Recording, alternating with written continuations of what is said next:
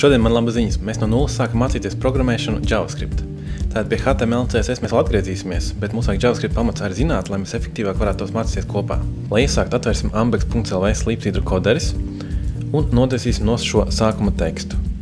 Tā vietā uztaisīsim atverošo skript tagu un aizrošo skript tagu. Un šajā brīdī mēs esam uztaisījuši pamatni, lai mēs varētu sākt JavaScript, rakstīt JavaScript kodu.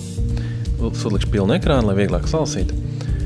Nu, lūk. Un tagad, ko mēs sāksim šeit rakstīt, mēs sāksim rakstīt uh, šo programmēšanas kodu. Un ir jāsaprot, ka tas, ko mēs darījām iepriekš ar HTML un CSS, tā nebija programmēšana. Šī būs pirmā programmēšanas nodarbība. Jo, lai tā būtu varētu būt programmēšana, valodā ir jābūt iekšā vērtībām, funkcijām, cikliem, nosacījumiem, jeb ifiem. Un tādā veidā var notikt dažādas darbības, kaut kādā, kaut kādā secībā, varbūt dažādi izpildes scenāriji, kas notiek at, at, atkarīgās situācijās, un tā, tā jau tiek saukt par programmēšanu.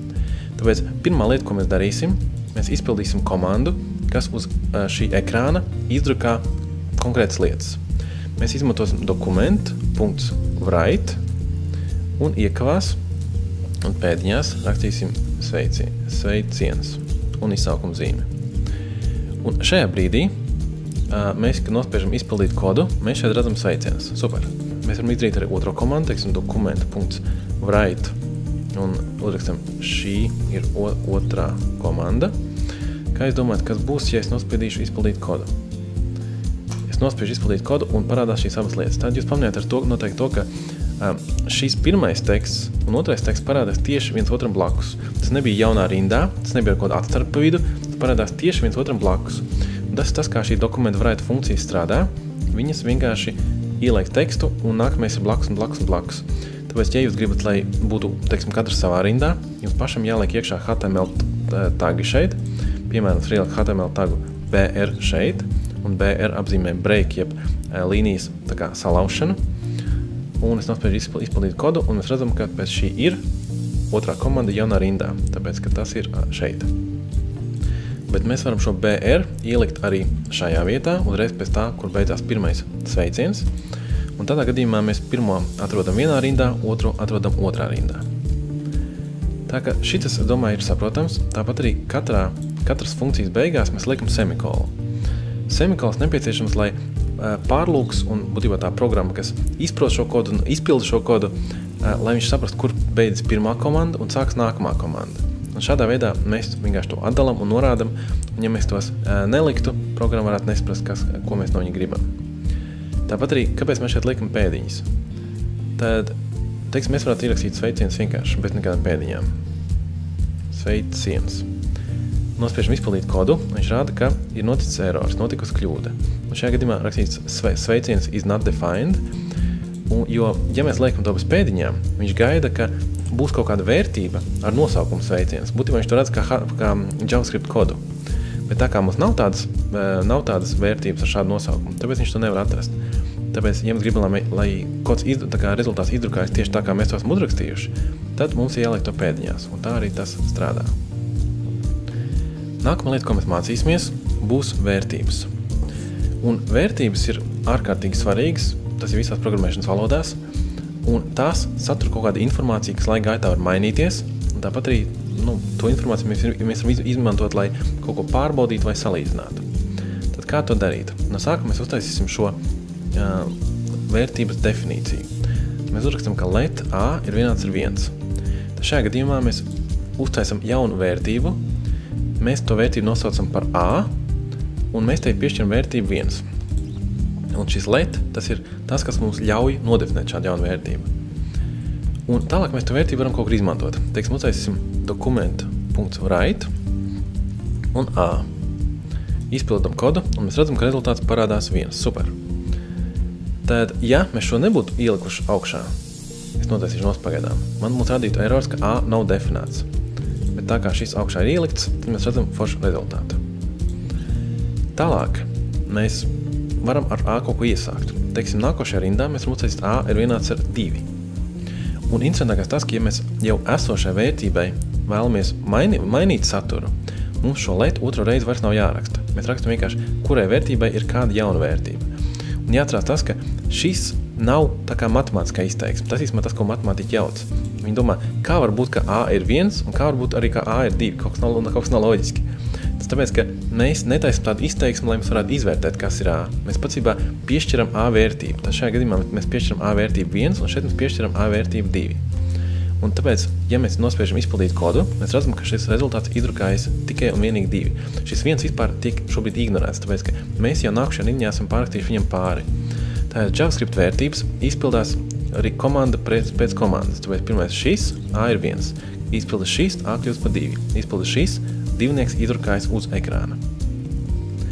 Un ko mēs vēl varam darīt? Mēs varam uztaisīt vēl citu vērtību. Teiksim, let B ir vienāds ar, teiksim, nezinu, 3 un semikols. Ja mēs izpildām kodu dabīgi, nekas nemainās, bet ja mēs uztaisam, ka, teiksim, šeit rezultātā izdrukājas A plus B, tad mēs redzam, ka rezultāts ir 5. Tātad viņš šo 2, kas ir pēdējā vērtība, ir saskaitījis kopā ar 3 un izdrukājis rezultātu, kas ir 5. Tas ir ērti. Un tāpat mēs varam izdarīt arī tādu lietu, ka, teiksim, šos mēs nodēsim nost un uztaisīšu trešo vērtību. Let C ir vienāds ar A plus B, un šeit mēs vienkārši izdrukāsim C. Un šajā gadījumā mums ir rezultāts, ka 1 plus 3 ir 4. Tikai tā vietā, lai mēs to liktu šeit iekšā, mēs esam ielikuši to, to vērtībās.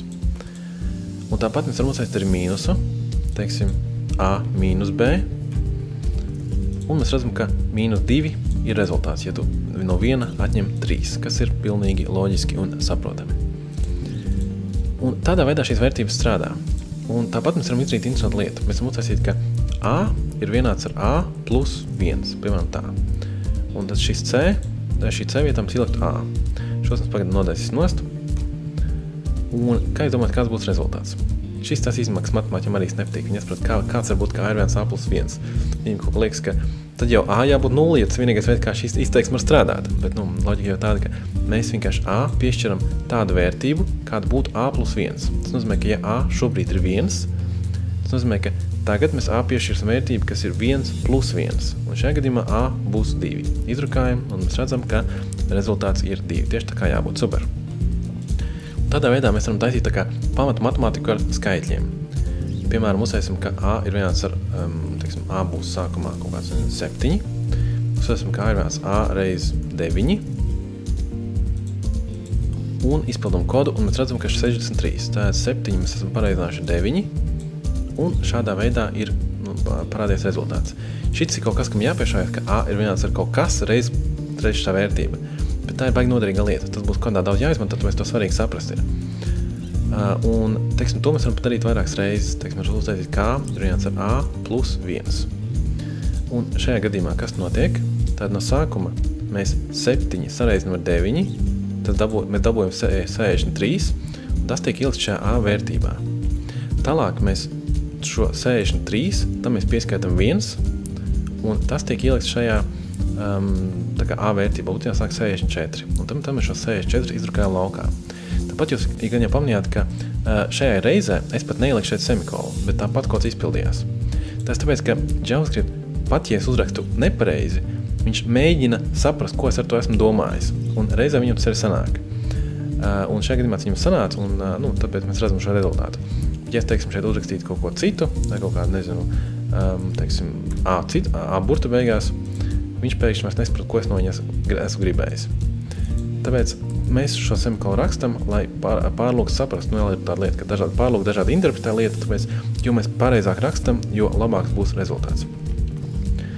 Un šajā reizē, šajā, no, nu, šādā veidā mēs varam izdarīt tādas, tādas lietas, kā, teiksim, uztaisam, kā, teiksim, A pareizinām ar A, tad mēs pat dabūjam kaut milzīgu skaitli. Tad mēs 64, pareizinām 64, un tas dabū šo rezultātu. Tad šādā veidā mēs varam strādāt ar skaitļiem, mēs varam izdrukāt šos skaitļus uz ekrāna.